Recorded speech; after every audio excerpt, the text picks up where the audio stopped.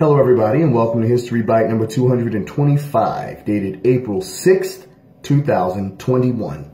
I'm Walter, your mobile historian and blue collar scholar. This History Bite is entitled The Negro Seaman Acts.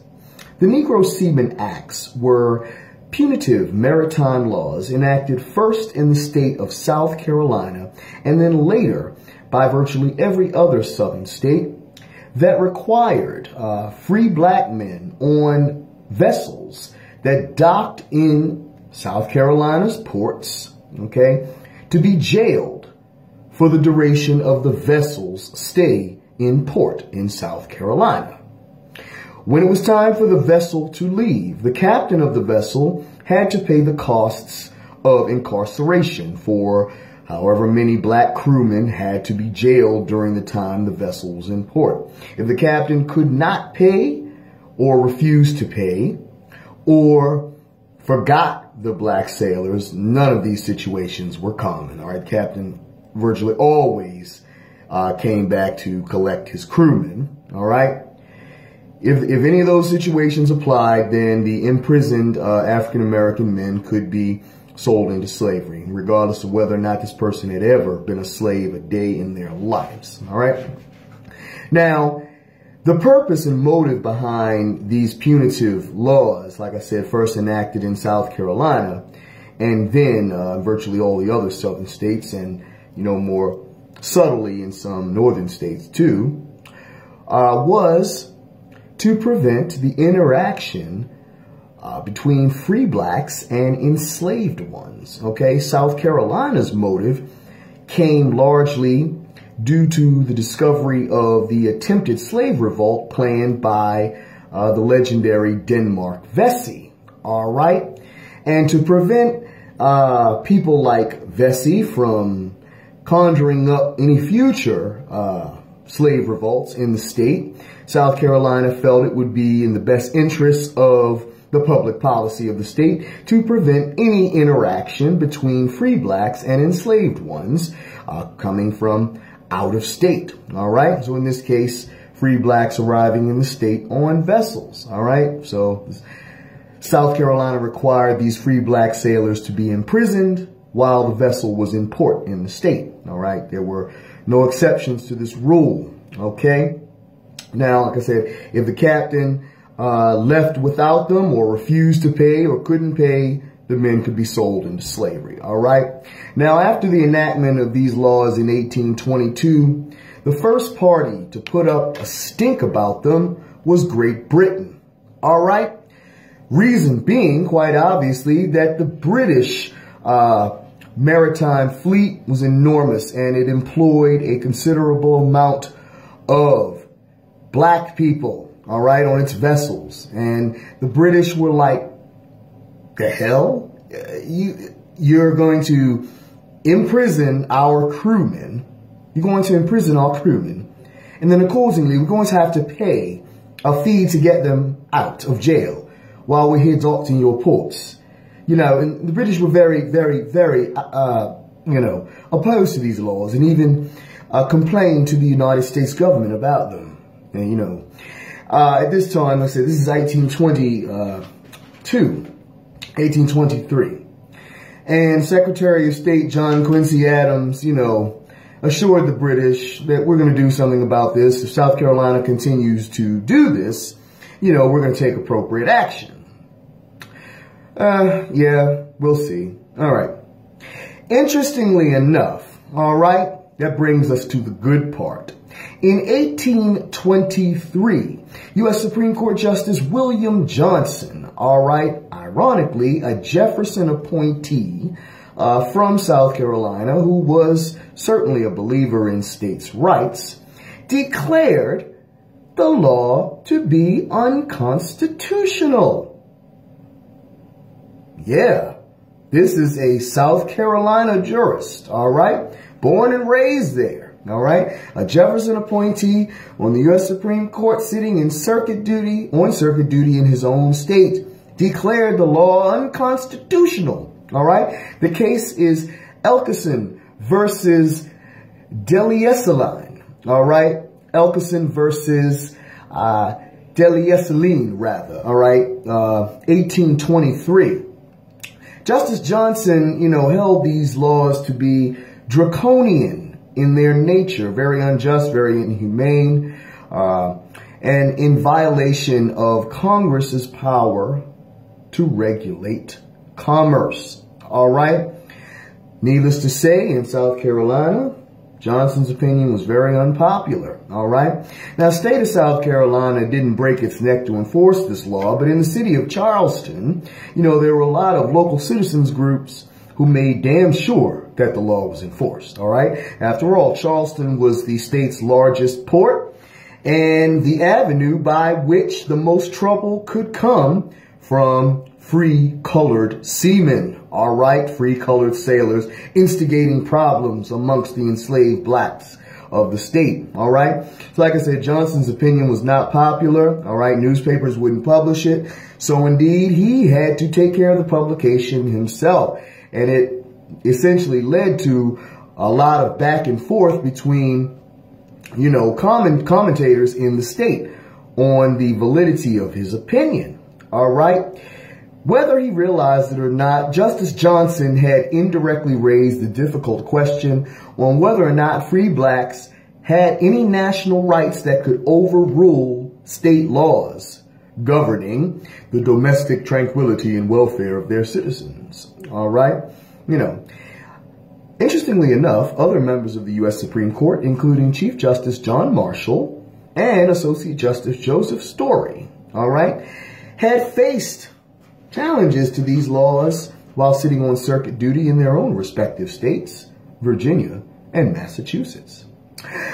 Both men, both men, but more so Chief Justice John Marshall, uh, had uh, faced these challenges, but not with the boldness of Justice Johnson. Johnson was the only member of the court who was bold enough to declare the law unconstitutional in South Carolina. Chief Justice Marshall avoided the question um, entirely, uh, dismissing the case on technicality when it was brought to him while sitting on duty in Virginia. And how uh, precisely uh, the rationale used by Justice Story uh, when the matter uh, was likely brought to him in Massachusetts, which also had similar quarantine laws. The exact result is um, unknown, but what is assured is that he did not declare it to be unconstitutional. Okay? So, you know, with all the unpopular fanfare and so forth and so on, you know, Justice Johnson would write to Secretary of State Adams, essentially calling for the intervention of President James Monroe to uh, do something about this. You know, so President Monroe would ask his Attorney General William Wirt to evaluate the law and, and basically tell me, sir, is it constitutional? Attorney General Wirt came out very quickly and said, Mr. President, the law is unconstitutional in its entirety as it violates commercial treaties between the U.S. and Britain. All right? So we've got President Monroe thinking it's unconstitutional. Secretary of State John, uh, John Quincy Adams thinks it's unconstitutional, as well as Attorney General William Wirt. Okay, so President Monroe sent a copy of Attorney General Wirt's letter to uh, the governor of South Carolina uh, in 1824, you know, who met it with resistance. You know, who the hell do you people think you are telling us our, our law here in South Carolina is unconstitutional? You lost your daggone mind. Mm. In any case, the uh, governor sent the matter to the legislature, uh, which responded even more harshly than the governor. All right. The Senate really rebuked the federal government and House of Representatives in South Carolina, uh, took a more appropriate tone in just holding that state of South Carolina had this power naturally to regulate uh, and protect its own domestic security from threats. All right. Yeah, okay, fine. So, in any case, the situation remained unchanged at this point and remained largely unchanged in the presidency of John Quincy Adams, which followed that of President Monroe. Okay. Uh, that did not, however, stop uh, the British from continuing to protest to Washington about the unconstitutionality and absolute unacceptability of these laws. However, Britain eventually kept quiet about the matter as President John Quincy Adams told them, yeah, yeah, we're, we're, we're, we're on it. We're doing something about it. Uh, yeah, even though nothing much was really happening. Okay? But Adams was able to keep the British calm, you know, which wasn't an easy task. I mean, naval strength, they could have whipped our tails at that point. It, it would not have been a pretty thing, but that's for another video. In any case, when Andrew Jackson became president in 1829, okay, the whole attitude of the federal government changed on these laws. Jackson, who was himself a Southerner and slave owner, referred the matter to his own attorney generals when he became president. Uh, after the British kept, you know, yo, yo, I already told you guys about this. We are tired of you impressing our black sailors, all right? So then, you know, Jackson gives the matter to his attorney generals. Y'all come in here and tell me, is this law constitutional? I'm quite sick of these British getting on my nerves about this. So Jackson's attorney generals both tell him, especially Roger B. Taney, who would later, of course, become what? Chief Justice of the United States in 1836. Roger B. Taney had the opinion quite simply, okay, that these laws were perfectly within a state's police power to do. How a state treated its black citizens was no business of the federal government whatsoever, and that the executive and the judiciary should frankly stay out of it. Okay? Regardless of what the justices of the Supreme Court might say about it, this is a matter for the people of the states to decide. Wonder if he would have felt that way if an attorney general had rebuked him like that when he was Chief Justice and that the Supreme Court really carries no water here. Hmm. Don't think he would have met it with a smile. One reason the Supreme Court never addressed the constitutionality of these laws, folks, was because the imprisoned sailors were already freed well before the matter could work its way up through the court system. So the Supreme Court never had the ability to address the issue. All right. Justice Johnson's opinion essentially uh, unleashed a 20-year firestorm uh, in the country on the legitimacy of these laws. And it would not be arguably until 1842 when uh, Congress would give it its attention, hoping to uh, give some sort of finality to the matter, though, you know, that was not exactly the case. All right. So in 1842, a petition was brought uh, in the House of uh, Representatives uh, from the owners and masters of vessels in Boston, you know, who sought congressional relief from the law. And we're sick and tired of, you know, South Carolina uh, and other southern states uh, imprisoning their black sailors and then they having to pay costs to get them out. All right. So the chairman of the Commerce Committee, all right, used the opportunity to produce a report on the laws. All right. And that, of course, drew, that was the majority report, and that, of course, drew a minority uh, report, all right? The majority report, known as the Winthrop Report, uh, held that the laws violated the Privileges and Immunities Clause of Article 4 of the Constitution, all right? And that essentially the states had no such power to do this, all right, in, in confining an entire class of citizens in this discriminatory manner. All right, obviously a very northern and progressive opinion. The minority report, known as the Rayner Report, held a very different view, needless to say. All right, they held that laws did not violate the federal constitution as they did not in any way infringe on any existing act of Congress. All right, uh, regulating commerce. Mm.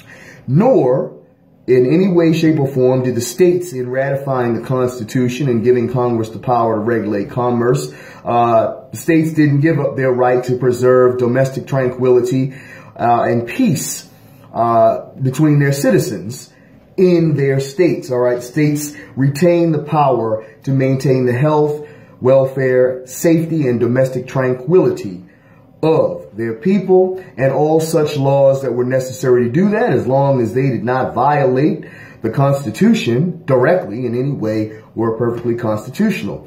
The Minority Report also raised a very good point that even I'll concede that the Majority Report was holding that uh, the law should be uh, overturned, essentially, invalidated, struck down, all right? That the only relief essentially could come from the courts, which was appropriate. The majority report saying that only the judiciary could invalidate these laws, uh, which was only half true.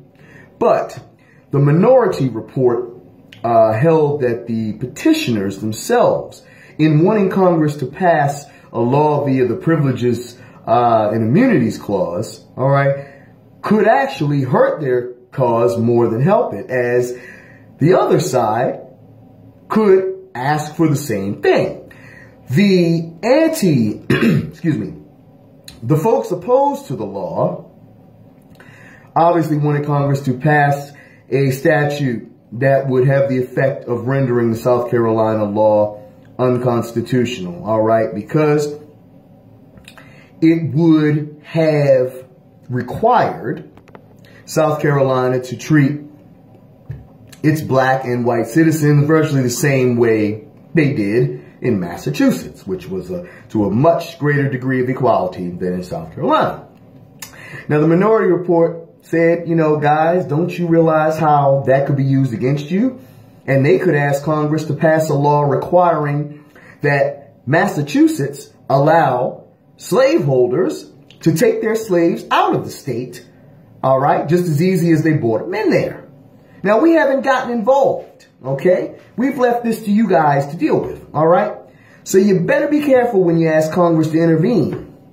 Because just as you guys are asking us to make South Carolina treat its black and white citizens with some sort of uh, equality here, South Carolina could easily uh, ask us to uh, force Massachusetts to not automatically free your slaves when uh, they bring them in, when you guys bring them into Massachusetts, but instead you, you, um, they could always ask for us to make Massachusetts give them their slaves back, all right, or allow their slaves to remain slaves while in the state of Massachusetts, and then allow them to take them out just as easily as they brought them in, all right? So Frankly, you'd better handle this on your own because your argument could lead to a further uh, reduction in your ability to negotiate here. Just as you guys are asking for this, they could ask for it too. And then what do you have? Your cause will be even weaker than what it was when you began it. All right. So those were the two reports generated uh, when Congress did finally uh, give any attention to the subject at all. Okay? Now, that for the most part, you know, quieted the matter for the interim for about the next uh, 20 or so years. Uh, and during the American Civil War, the laws essentially uh, ceased in operation with the northern blockade of southern ports. All right. And with the adoption of the 13th Amendment in 1865, the laws would have effectively served no more purpose as slavery was, of course, abolished by that, by that amendment and all would be therefore free, no longer requiring anyone to be imprisoned to affect, to uh, have any um, effects whatsoever on the local slave population because there was no more local slave population. All right. So the laws essentially continued uh, in their existence and enforcement up until the uh, conclusion of the American Civil War and would essentially be uh, invalidated in form and purpose with the adoption of the 13th Amendment in 1865. So those are the Colored Seaman Acts, folks, that were in effect from 1822 largely until 1865 when they would be nullified by the 13th Amendment. All right. Any questions or controversies, leave them down below. I'll be happy to answer them. If you have not subscribed to my YouTube channel, please do so now. I greatly appreciate it. Thanks for listening. Hope you learned something from this. If you enjoyed this video, drop me a like. That would be graciously appreciated. Take care, stay safe out there, and I'll talk to you at the next bite. Peace.